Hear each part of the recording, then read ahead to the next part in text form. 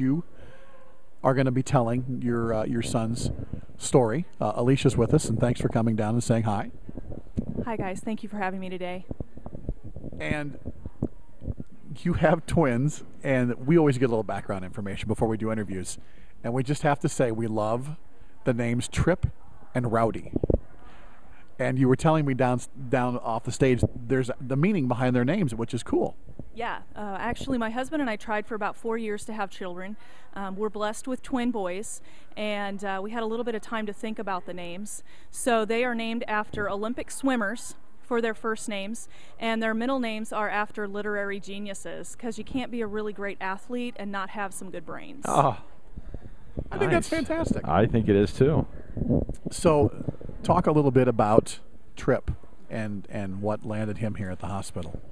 Yeah, Tripp's story actually is very long. Uh, we found out at 20 weeks expecting that there was some kind of abnormality with his kidneys, but we weren't really sure the extent, just how extensive it was until Right. after he was born.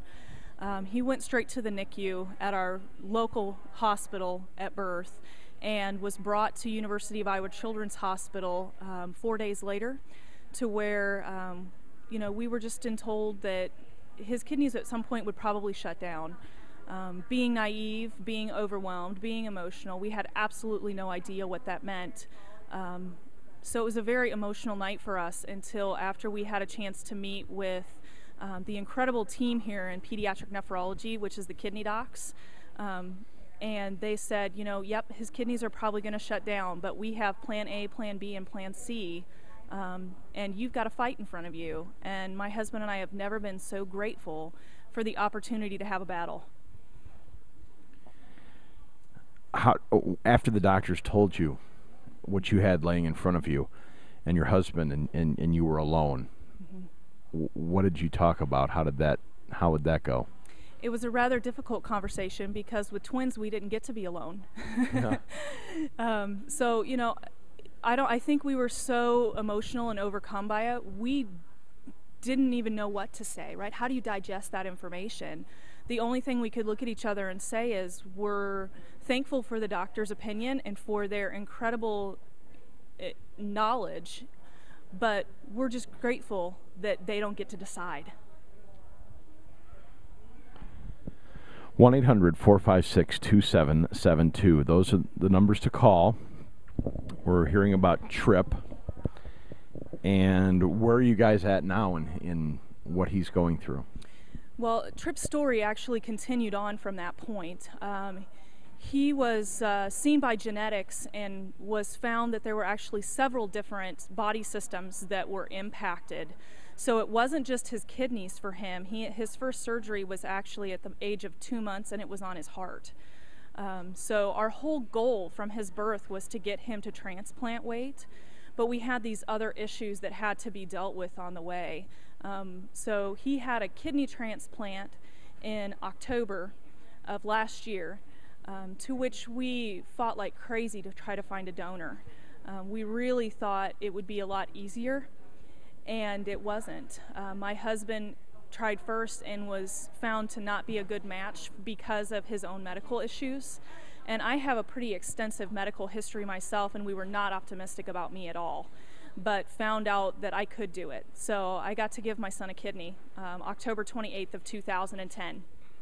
So he um, he actually went through several things in between that process. Right. Um, but those were kind of the big highlights. Uh, There's no way that you and I would have enough time to really rehash his entire story Yeah, here. yeah. And I'm not sure your your listeners really want to completely live that. So and, and so where are you at? Where's he at now as far as Mm-hmm. since the kidney transplant? He's at home.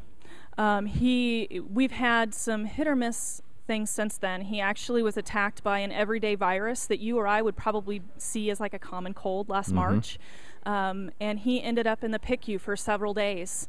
Um, it attacked body systems in him because of being because of the suppression of his immune system. It uh, really hit him hard, and he was admitted for over a month um, with this we found out that he just had some respiratory type things going on at that time and he went home on a CPAP machine. And most recently, we came in and saw another set of doctors who found out Um, they did a test, and he ended up on a ventilator, which was, I think, maybe his fifth time on a ventilator since his birth, um, for about eight days because he aspirated in this test. Um, but the test actually was successful in that answered questions for us. So, most recently, we've been battling it out with some additional issues with his respiratory system. And um, the surgeons here have done a great job at kind of hitting the things that we need to focus on at the time and then figuring out what our next step is. Um, I can't say enough about the team here, and I can't say enough about the opportunity that we've been given, whether it be medically or through the support systems that they have in place here at the Children's Hospital. That's why we're here. The support systems, the staff, all the things that they offer up for the families. And that's why we need your pledge 1 800 456 2772 after after waiting so long to be able to have kids, and some sometimes uh, people have to wait a while, and but it, but it eventually happens. What what did you think? You waited so long, and then and then something like this happens. I think every parent has that image in their head of what it's going to be like to be a parent, right? Um, for us, that it, that was completely blown out of the water. Um, there is not a day goes by that I am not incredibly grateful for these two little guys and the amazing blessings that we've been given with them. And it's very difficult for people to understand, but there isn't a day that goes by that I am not 100% grateful for the opportunity to have these guys for as long as we have them.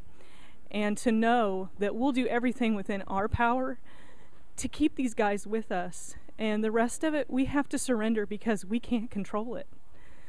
And I don't I think that's the same for every parent. It's just that some of us, and there's 102 families in here right now that can relate to this. For some of us it just smacks us in the head with a frying pan. You know, whereas other people may get it when they go and get their kid an immunization at the doctor. You know, for us it's just a little bit hit home a little bit harder. Um, but one thing that we do know is that adversity is preparation for greatness. And I do 100% believe that our children are meant to do something great. And that is so many times when people are telling you, you know, this may this may not be a good result here, or this may be a difficult time for you.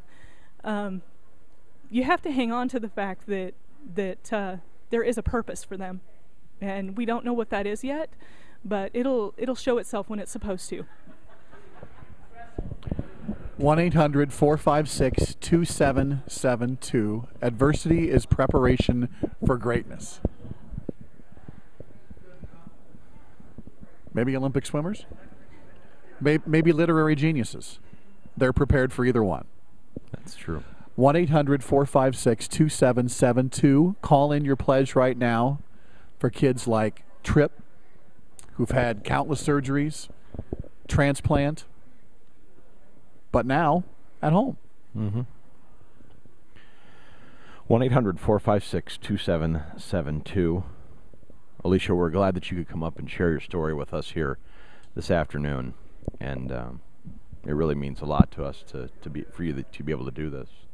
Absolutely. If there was anything that I could do for this hospital, um, hands down, all they have to do is make that phone call and I'm there.